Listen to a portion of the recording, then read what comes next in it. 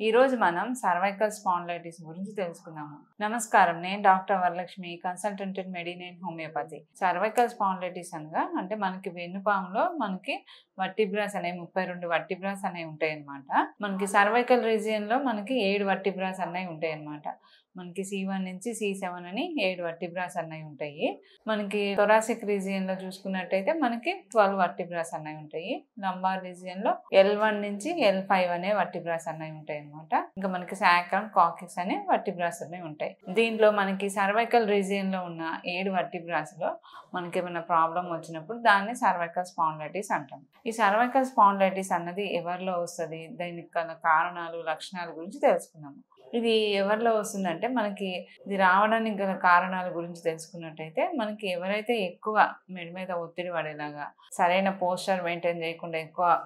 పని చేసే వాళ్ళలో కానీ లేకపోతే మనకి ఎక్కువ డెస్క్ జాబ్స్ చేసే వాళ్ళలో కానీ లేకపోతే మనకి ఎక్కువ జర్నీస్ చేసే వాళ్ళలో ఏమవుతుందంటే అక్కడ డిస్క్ అన్నది మనకి డిస్క్ బల్జ్ లాగా అన్నది అవ్వడం వల్ల కానీ లేకపోతే డిస్క్ ప్రొట్రూజన్ కానీ డిస్క్ హెర్నియేషన్ కానీ లేకపోతే స్లిప్ డిస్క్ వల్ల కానీ లేకపోతే మనకి డీజనరేషన్ చేంజెస్ అన్నది రావడం వల్ల కానీ మన మనకి దాంట్లో అరుగుదల రావడం వల్ల కానీ మనకి డిస్క్లో ప్రాబ్లమ్స్ రావడం వల్ల ఏమవుతుందంటే దానిలో నుంచి నరాల మీద అన్నది ఒత్తిడి అన్నది పడుతూ ఉంటుంది అనమాట దీంతో పాటు మనకి కొంతవరకు ఇది ఎవరిలో వస్తుందంటే మళ్ళీ ఇంకా మనకి కాల్షియం డెఫిషియన్సీ ఉన్న వాళ్ళలో కానీ లేకపోతే ఇంకా వేరే అదర్ మెడిసిన్స్ వాడుతున్న వాళ్ళలో కూడా త్వరగా అన్నది ఇది డిజనరేషన్ చేంజెస్ స్టార్ట్ అవడం వల్ల కూడా ఇది అన్నది వస్తూ ఉంటుంది అనమాట ఇది చూసుకున్నట్టయితే మహిళలు పురుషుల్లో కూడా మనకి మిడిల్ ఏజ్ నుంచి కొంచెం ఏజ్ పెరిగే కొద్దికి ఆ ఏజ్ గ్రూపులో అన్నది వస్తూ ఉంటుంది అనమాట దీని యొక్క లక్షణాల గురించి తెలుసుకున్నట్టయితే మనకి దీంట్లో ఏమవుతుందంటే మనకి వట్టిబ్రాస్కి వట్టిబ్రాస్కి అంటే వెన్నుపూసల మధ్య భాగంలో మనకి డిస్క్ అనే మెత్తడి పదార్థం అన్నది ఉంటుంది అనమాట దీని లోపల మనకి బల్బోజ న్యూక్లియస్ బల్బోజ అనే మెత్తటి ద్రవం లాగా ఉంటుంది ఉంటుంది అనమాట ఇది ఏమవుతుందంటే మనకి వెన్నుపూసల మీద మనకి అధిక ఒత్తిడి పడినప్పుడు కానీ లేకపోతే సడన్గా జర్కుల వల్ల కానీ లేకపోతే ఏమైనా దెబ్బలు తగిలినప్పుడు కానీ ఏమవుతుందంటే అది బల్జ్ బయట అన్నది వస్తూ ఉంటుంది అనమాట ఆ మెత్తటి పదార్థం. దీన్ని డిస్క్ బల్జ్ అంటాం అనమాట ఇది ఏమవుతుందంటే మనకి స్పైనల్ కార్డ్లో నుంచి మనకి నరాలు అనేవి మనకి తల నుంచి మనకి కింద బాడీ వరకు వెళ్తుంటే దీన్ని స్పైనల్ కార్డ్ అంటాం అనమాట దీనిలో నరాల మీద మనకి ఎక్కడైనా ఒత్తిడి పడినప్పుడు మనకి ఏమవుతుందంటే నొప్పి అన్నది వస్తుంటుంది. మెడ నొప్పి లాగా ఉండడము తలంతా బరువుగా ఉండడము కొంతమందికి నొప్పి అన్నది తల పై భాగంలో దాకా ఉండడము మనకి తిమ్మిర్లు లాగా ఉండడము కొంచెం తలనొప్పి ఉండడము ఇవి అన్నది ఉంటూ ఉంటుంది. దీంతో పాటు మనకి సర్వైకల్ యాడికులోపతి అంటారంటే నొప్పి అన్నది మనకి ఇక్కడ మెడ నుంచి మనకి భుజాల నుంచి చేతి వేళ్ళ వరకు కూడా అన్నది వస్తూ ఉంటుంది అనమాట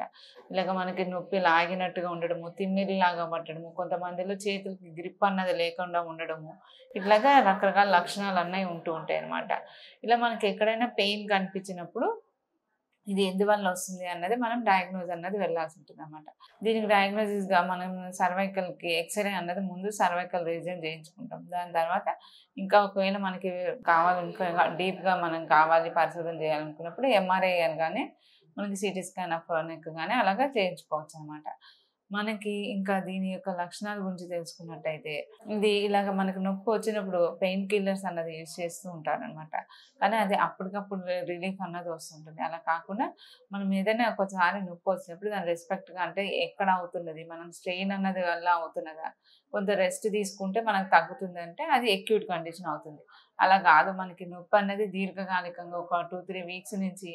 మనకి ఇంకా ఎక్కువగానే ఉన్నది నొప్పి కంటిన్యూస్గా మళ్ళీ మళ్ళీ వస్తూ ఉన్నదంటే అది క్రానిక్ కండిషన్ అవుతుంది అనమాట ఇలా క్రానిక్ కండిషన్స్ ఉంటూ మనకి సర్వైకల్ రీజన్ మీద ఎక్కువ ఇబ్బంది పడుతూ మనం ఇలాగా వర్క్ ప్రొఫెషన్ అన్నది సరైన పోస్టర్ అన్నది మెయింటైన్ చేయకుండా ఎక్కువ ఒత్తిడి పడుతున్నప్పుడు ఈ సిమ్టమ్స్ అన్నవి ఎక్కువ అవుతూ ఉంటాయి అనమాట దీనికి మనకి మెడినైన్లో చూసుకున్నట్టయితే మెడినైన్లో మనకి హోమియో మెడిసిన్స్ అనేవి ఉంటాయి అనమాట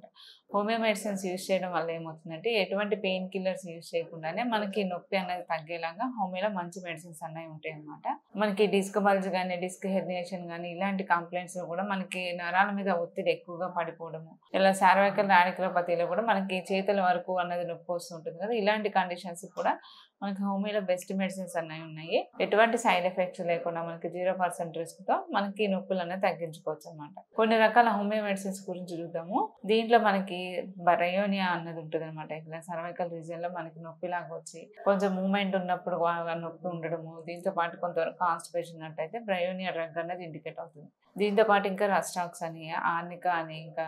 హైపరికం అని ఇంకా గాంధీరి అని గాయకం అని ఇలాగ చాలా రకాల మెడిసిన్స్ అన్నవి ఉంటాయి అనమాట దీంట్లో రోగి యొక్క శారీరక మానసిక లక్షణాలన్నింటినీ పరిగణలోకి తీసుకుంటూ ఇంకా అతనికి సర్వైకల్ రీజన్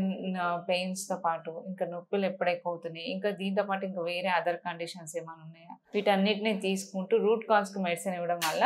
ఈ నొప్పులు అనేవి మనకి శాశ్వతంగా తగ్గేలాగా మనకి హోమియో మెడిసిన్ అనేవి ఉంటాయి మనకి మెడి నైన్లో ఓన్లీ మెడిసిన్సే కాకుండా మనకి నొప్పులు తగ్గి త్వరగా మళ్ళీ రాకుండా ఉండేలాగా కూడా మనకి ఇమ్యూనిటీ బూస్టర్స్ ఇవ్వడం అన్నది జరుగుతుంది. దీంతో పాటు మనకి ఆహార నియమాలు కూడా అంటే మనకి డైట్ అన్నది ఎటువంటి డైట్ తీసుకోవాల్సి ఉంటుంది? మన ఆహారంలో ఎటువంటి మార్పులు తీసుకుంటే మనకి బాగా ఉపయోగపడేది మనకి త్వరగా అన్నది పెయిన్స్ తగ్గుతాయి ఇవన్నీ కూడా ఎక్స్ప్లెయిన్ చేస్తాం. దీంతో పాటు మనకి లైఫ్ స్టైల్ అన్నది కొంతవరకు మన లైఫ్ స్టైల్ ఎటువంటి మార్పులు తీసుకోవాలి ఎటువంటి ఎక్సర్సైజెస్ చేసుకోవాలి ఇవన్నీ కూడా ఎక్స్ప్లెయిన్ చేయడం అన్నది జరుగుతుంది అనమాట మనకి నొప్పి అన్నది ఏదైనా కూడా మనకి మన కంప్లైంట్స్ అయితే సర్వైకల్ స్పాండ్లైటిస్ కానీ లంబార్ స్పాండ్లైటిస్ కానీ లేకపోతే బ్యాక్ పెయిన్ కానీ ఇంకా షయాటికా ప్రాబ్లమ్స్ కానీ వీటన్నిటికి కూడా హోమియోలో బెస్ట్ మెడిసిన్స్ ఉంటాయి అనమాట మనం అది క్రానిక్ అయ్యే వరకు మనం వెయిట్ చేయకుండా మనకి త్వరగా ఇనిషియల్గా ఉన్నప్పుడే మనం కానీ హోమియోని అప్రోచ్ అయినట్టయితే మనకి రిజల్ట్స్ అనేవి త్వరగా అన్నది వస్తుంటాయి ఇప్పుడు మనకి అడ్వాన్స్ ఫార్ములాస్ అనేవి ఉన్నాయి కాబట్టి మనకి ఇంప్రూవ్మెంట్ కూడా త్వరితంగానే అన్నది ఉంటుంది అనమాట అదే క్రానిక్ అయిపోయి మనకి బాగా సివియారిటీ ఉన్నప్పుడు మాత్రమే కొంచెం టైం అన్నది పడుతుంది అనమాట ఇంకా మీకు ఎటువంటి సమస్యలు సందేహాలు ఉన్నా ఒకసారి మీడియాని కన్సల్ట్ అవ్వండి. Thank you